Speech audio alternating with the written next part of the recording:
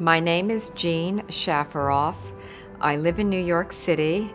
I am the author of Successful Philanthropy How to Make a Life by What You Give. I work as a philanthropist, a volunteer. I sit on seven different charity boards. I'm a mother, a wife, and a happy woman. I've heard about the Taste of Hope um, from friends, but I've been involved with American Cancer for a number of years as a supporter.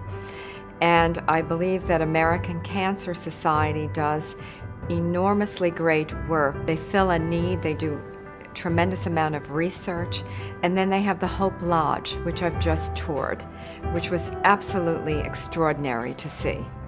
Here at Hope Lodge, you see a beautiful facility which is for patients when they come to New York for their cancer care. And I saw patients that were very happily engaged in activities outside of their cancer care. It's a warm, nourishing, loving environment, and I think that's absolutely wonderful and very important.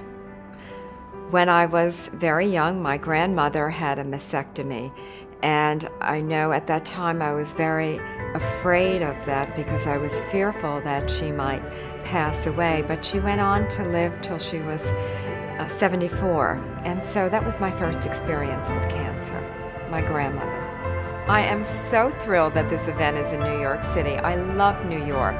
And I'm so thrilled to be honored along with Drew Nieporent and David Burke, two great restaurateurs.